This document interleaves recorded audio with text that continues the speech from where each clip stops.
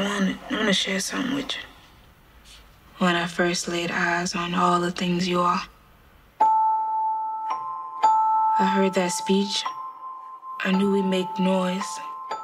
I just thought it'd be in the streets.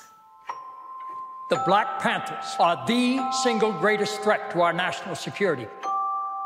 Our counterintelligence program must prevent the rise of a black messiah.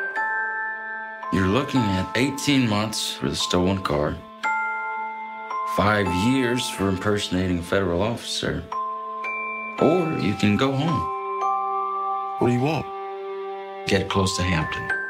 The Black Panthers are forming a rainbow coalition of oppressed brothers and sisters of every color. Neutralize him by any means necessary.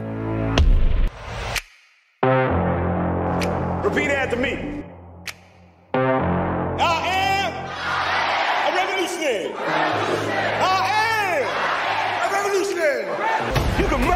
But you can't murder liberation. You can murder revolutionary, but you can't murder revolution.